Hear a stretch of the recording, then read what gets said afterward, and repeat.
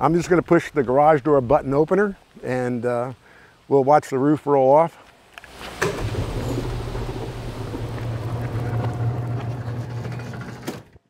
And uh, we can go inside and take a look at what we've got. Hey everyone, this is Nico from Nebula Photos. My friend Jay Sottolano has recently built his dream roll off roof observatory in his yard in rural Pennsylvania.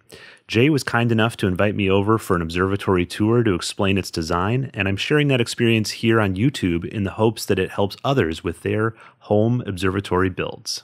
What you're looking at is kind of a ready-made observatory. There is a company down in Akron, Pennsylvania. Stoltzfus is the name of the company, Mine was the first that they had ever done by actually adding a warm room onto it. So we actually went through the design phase with them uh, to add the warm room to the uh, observatory itself. Um, we walked about talking about how we were going to do two piers. Each of the piers is isolated uh, from the original floor that was poured, the concrete floor that was poured. There's about an inch spacing between the piers. Um, any of the wiring that runs through uh, is all encased in a plastic housing so that if, if any critters get in there, they won't be chewing through cables, hopefully. Um, it's an interesting story about how we did the piers themselves as far as those bolts that you see sticking up. Um, instead of just using the standard J-hooks that, that you'll see happen in a lot of observatories, well, one of the contractors was also a welder. And so what he did was he actually used those threaded rods, built a cage with rebar, and those went down almost two feet and we sank that into the concrete. This is one of the actual forms that I used to do that pier, um, pardon the scratch outs and so forth. But what we did was my wife and I came out at night before anything was poured, just the, the, when the columns were in, um, and we marked out where north was going to be and where south was going to be. Um, we put notches so that we could see, and those notches align with the edges of the piers. So on the piers, on the outside of the piers, we put where north and south was, we put levelers in there. And then when the time came, we attached this to the cage, we sank it down into the cement, aligned north and south. And that's how we pretty much got everything level and pretty much lined up with north and south to begin with. And so these became really invaluable to working with the, the piers and, and setting them in the concrete. Sorry for the noise. But as you can see, it rolls pretty smooth. Even at 3 or 4 o'clock in the morning, I haven't gotten any complaints from the neighbors as far as the roof closing or opening. One of the things that you see in a lot of observatories that are roll-off roofs is the is the the old older way of doing uh, rolling, right? Which is to have the angle iron sitting on top of the the, the roof itself or on top of the, the building itself, and then you would have those large three or four inch rollers that have the indentation and, and that's how you would do the rolling.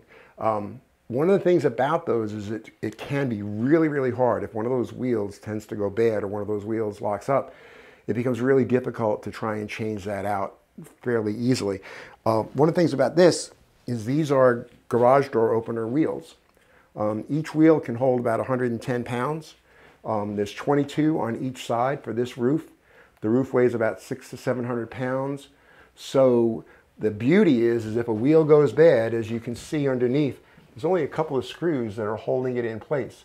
And I can drop that whole wheel assembly out, replace it with one of these that, that Nico was just filming, put it in, and I'm back in business. And really the only out time that I've got is how long it takes me to take a few screws out of the top. And then, like I said, uh, you put in the new wheel if one of them happens to get a little bit tied up. So again, something you think about as you think about how would I improve upon things, right? How would I work with things? Um, what you're looking at is the construction that they used. It's actually built by the Amish community. The company, again, that, that works out of Akron, again, Stoltzfus, um, they hire people from the Amish community to actually do the construction. And if, you, have ever seen anything that, that, you know, their history in terms of barn raisings and so forth, they are excellent, excellent carpenters. And so they bring that trade into building this. The company itself did a lot of this with storage sheds. That's what they were, their primary business was. Um, but they've branched out now into these observatories and have really, really come a long way. Um, we have people, I've had people here to look at the observatory who are considering one for themselves from Maryland, from Maine, from other areas that um, that would just want to see before they actually you know purchase one what's one of the ones that looks like when it comes out. Um, so they deliver all over the Northeast. They do, um, and um, I have some videos. I'm not sure if Nico's going to include them or some pictures. It was an amazing delivery. Um, the floor was already poured. The concrete pillars, uh, the bases were already in before the building actually came. And the building comes off of a truck. Um, and then at that point, they have this remote control, radio control, whatever you want to call it, forklift. And they are actually able to roll the entire building, make adjustments as much as like a 16th of an inch with this huge building sitting over the floor that's been poured and over the concrete pillars, as you can see, that were already in the ground. And so the holes that were cut at the factory, how well they aligned those holes up uh, to match the concrete pillars that, that were already poured and in the ground. That was, that was the part that amazed me, is that the entire building rolled over the top of those and was set down perfectly in place. So you mentioned you've you know you've seen friends observatories. You've thought a lot about this over the years. So you've already put in a lot of like collected wisdom into this design. Is there anything that's been unexpected that you you know you regret or anything that's come up? We tried to do as much you know as possible. You, you see the you see the tree line around. Uh, you know, and, and you and I talked about this a little bit offline. Um, my wife and I actually came out and we used poles, right, that we cut to height of where we knew the roof was going to be so that I could actually see from where the observatory, where the mounts were going to be, what my line of sight was going to be to the trees. So that's one thing that I don't think people necessarily think about is line of sight over the top of a roof, right? Um, and you need to, right? Because the worst thing to do is find out that you built the walls too high and you've lost 10 degrees of the sky, right? Yeah. In terms of the wall height. What do, what do you think? Uh, so, other than what you're saying about you know losing sky, what what do you think the other consideration with wall height is? Is it is it about comfort more, or is it about wind, or is it everything? Wind, yeah. um, certainly is one aspect of it. Um, you know, the, the higher the wall, but not too high, the less wind you have. Uh, I mean, you know, even with this little breeze that we've got today, right? You go inside the observatory and there's nothing. I mean, you won't feel it at all. Um, so, so that's helpful one thing I would have thought about possibly, I've seen some of those south facing walls that fold down mm. um, to give you a little bit more. But when I looked at those and the amount of time that you're actually having that south facing wall open for imaging, you're running into the corner of the building okay. fairly quickly, yeah. right? You know, so you, maybe you get an hour's worth of acquisition out of it, right?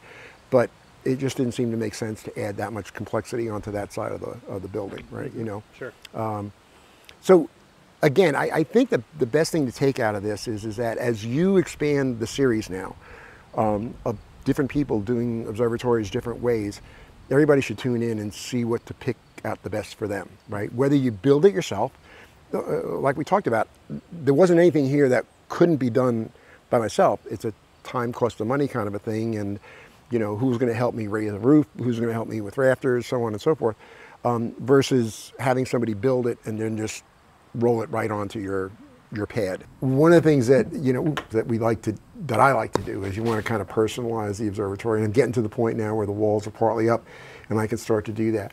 Um, Desiderata um, happens to be one of my most favorite poems. Um, one of the ones that always resonated to me was there's a line down here that says, um, "You're a child of the universe, no less than the trees and the stars."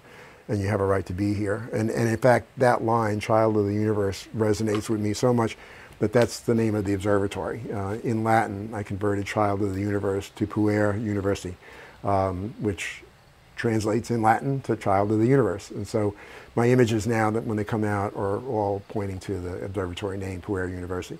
Um, so again, this was kind of special as well because my wife knew that Desiderata was my favorite um, kind of thoughts in life. and uh, one of the things she did once we had the observatory up and running was she got me this uh, canvas of Desiderata. So uh, a nice personal ad and a nice thought from my wife as well. So this was the second video in a series I'm doing, you know, obviously touring other people's observatories.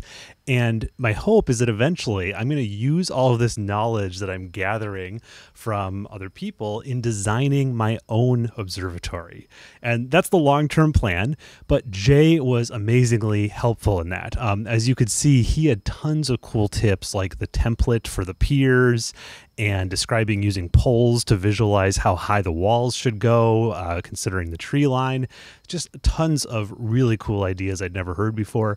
I think my biggest takeaway was that I think roll off roofs are superior to domes, at least for me.